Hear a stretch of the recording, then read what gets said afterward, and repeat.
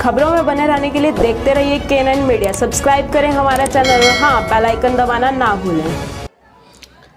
सोमवती अमावस्या के अवसर पर जींद के पांडु पिंडारा गाँव में नाकेबंदी करके पुलिस बल तैनात किया गया है। जिला प्रशासन की ओर से कोरोना संक्रमण रोकने के लिए यह किया गया है।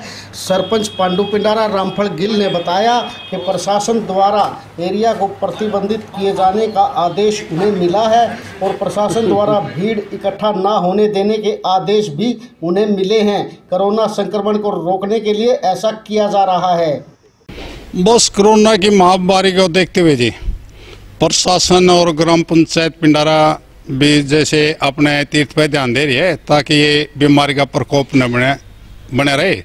इसलिए अब की बार पिंडदान से मनाई कर है सभी धार्मिक स्थानों पर। नहीं, अब की बार कोई मेला नहीं लगेगा जी। प्रशासन के भी आदेश आ रहे हैं जी। जैसे हरिद्वार में भी धारा एक सौ चौवालीस लगाई हुई है।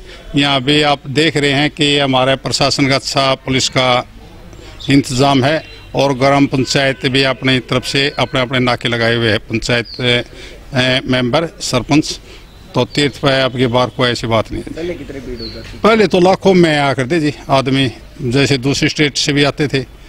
लेकिन इस माह होता तो कितनी तो अब की बात तो जी, कुछ तो ये सावन के अंदर है शिवरात्रि, महाशिवरात्रि का जी।